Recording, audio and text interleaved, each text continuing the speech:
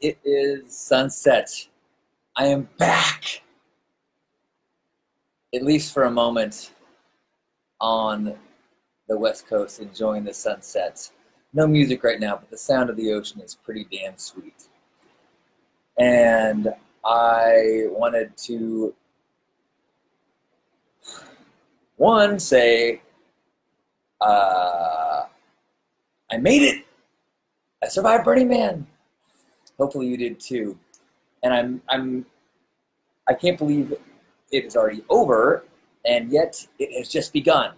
And that is one of the reasons why uh, I wanted to talk about doing this decompression and integration group, because the transition from that to this is hard, but it's made easier if you know that that to this will be that again. And what I want to do is get people together and to share what we're going through, share things that are working, share things that we're struggling with, remind each other, commit to the places that we've seen of ourselves, the places that we want to go. And so there's going to be a weekly call, assignments, daily check-ins. Uh, right now, if you sign up before we start, it's 97 bucks. What? Everything you do is free, Halcyon. I know, but I need commitment.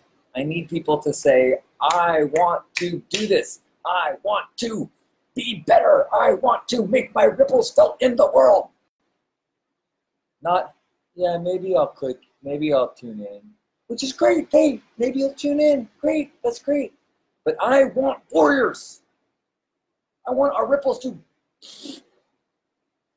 change the world and the power and the impact and the the inspiration that is in us after the burn is so powerful.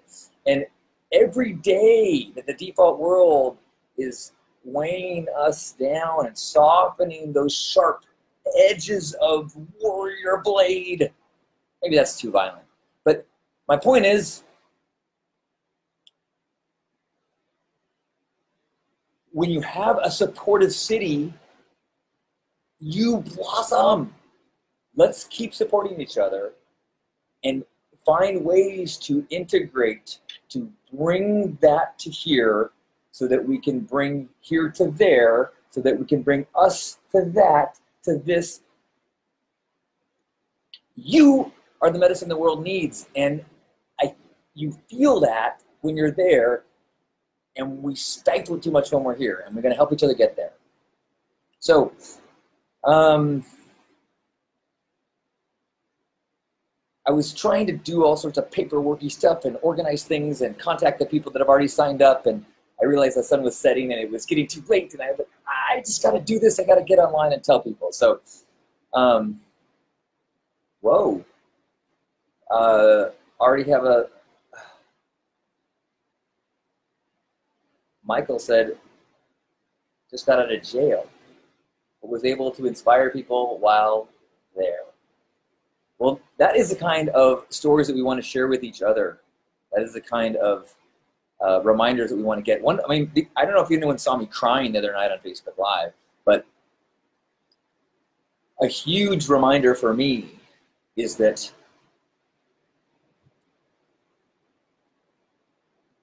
the fact that we get to oppor- the opportunity to experience Burning Man that we get to see the potential of humanity in ourselves that is so rare. It is so rare in the world, in the history of humanity, that our obligation is to now, when the world puts this discomfort upon us, puts this awkwardness, makes us feel like we're silly or weird or whatever, we owe it to the world because of the gift we've been given of this opportunity to face that judgment. And if we can do it together, like we do it when we're there, it's easier. Not easy, easier. If it was easy, it wouldn't be the warrior path, and it wouldn't be the thing that gives you that sense of purpose and power and strength, and that's why I'm here. So that is what I want to get us together to do. Do I know exactly what it's going to be? No. Nope. What have I learned from Burning Man? Surrender, flow, trust. But I know that if we can take what the momentum of that together, commit to being that in the world, and I'll give you exercises and ideas that I've thought about for the last 22 years, and ask for suggestions and ideas from you too. And if we can help each other, I know we can make a difference. So I'm asking if you want to be a part of this, there is a group that is linked here. It's the Decompression Integration Group. There's a link there to sign up for the $97 fee. It's going to go up a little bit once we start. You can start at any time. We're going to record the calls. The first one is tomorrow at 4 p.m. Pacific. 4 p.m. Pacific, we are going to start this thing. Or should I say continue this thing? Chicka chicka chicka chicka chicka chicka chicka chicka chicka chicka chicka chicka chicka chicka chicka. Boom!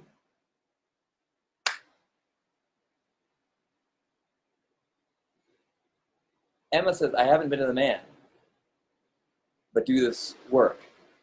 That's an excellent point. I was Burning Man is is simply a catalyst. You don't have to go to Burning Man for this. You don't. It is. It is simply Burning Man is is the the the light that draws the moths so that we can have the swarm. Now we're trying to get the swarm going. But if you are in the swarm, if you feel the heat, join us. Help each other. We can do this.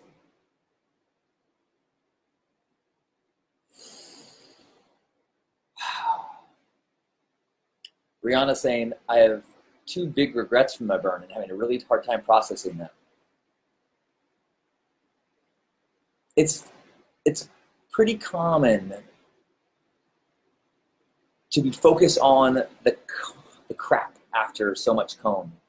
That was my experience right after the burn too. I, I was like, wow, I, I am so much of my mental energy after being so peaked out in in experiences and ideas and conversations and and then after it was over so many of my conversations and so many of the things that I was pulled into was about criticism and regret and things I could do better.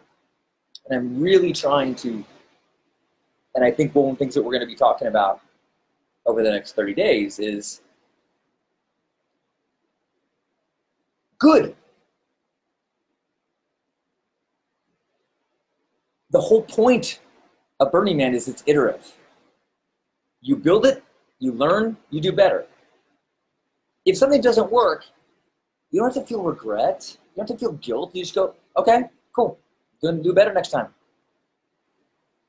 This is a work in progress. You are a work in progress.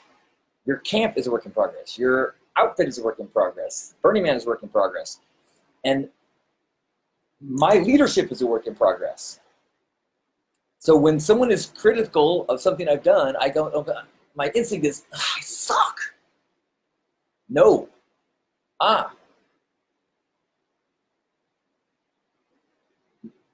Next year when I get to build this camp, next year when I get to do this, next time I get to try this, I can, or I can listen go, huh, not so sure if that feedback's, mm, nope, nope that's I hear you, and I don't think this is the right team camp for you.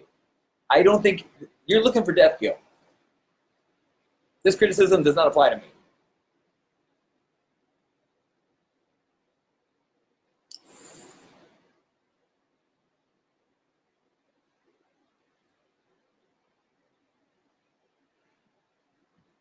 Let's see. Looking at some other comments.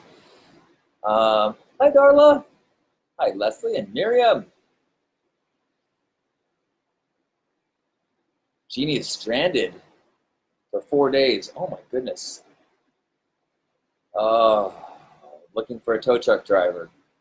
Wait. Oh, you did find somebody, an amazing burner who drove all the way back from Carson City to help you out. Oh, that makes me so happy to hear. And what a bummer. Stephen asking, What did you think of the art being defaced and vandalized this year? The big issue at Barbie Death Camp. The issue is starting to go viral. Newbies who don't understand what it is to be a burner cause much harm and hatred. Okay, honestly, I, I have, am not informed on the Barbie uh, Death Camp situation. Um, as far as art being defaced and vandalized, that was an issue last year too, and it's kind of unbelievable and shocking uh, that people would would would think there is any place for destruction. I guess maybe maybe there you know in in in in in total freedom, one of the impulses is violence and destruction. I mean, I can go, how can people want to do death guild and fight each other? Well, people do. How can people want to destroy things? But the, hopefully you find a way to do it uh, constructively. My friend Crystal's camp, they had a camp that they where they made things out of clay all week, and then they had a destruction party where they they, they broke it all on the last day. But um, I mean, I think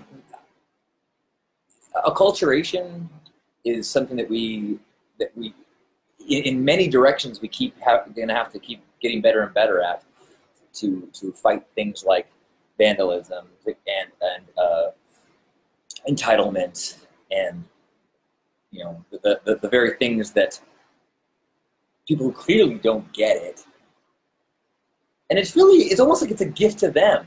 Like if you don't get it you are sitting here one of the 75,000 golden ticket holders and instead of enjoying the chocolate treats that are going to change who you are forever you're etching your name and, and destroying the machinery of the factory you're missing the point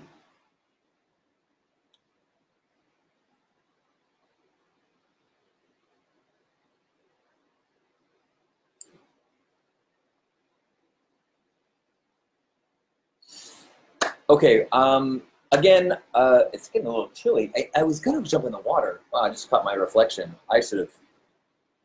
I'm not having a good hair day.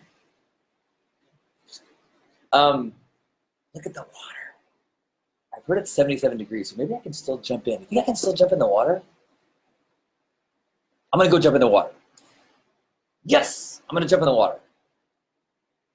Decompression and integration starting tomorrow, Sunday, 4 p.m. Pacific is to be the first live call. I'm to do another Q&A follow-up Monday night at 6 if you can't make the Sunday call. You can watch the video at some point and participate live uh, at Q&A.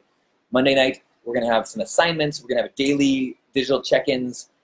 Uh, I'm going to ask for what you're going through. I'm going to ask for your, things that work for you. I'm going to ask I'm going to ask for you to, to be you in the world because it's what we need. I'm also going to ask you to commit and pay for it because I know from experience that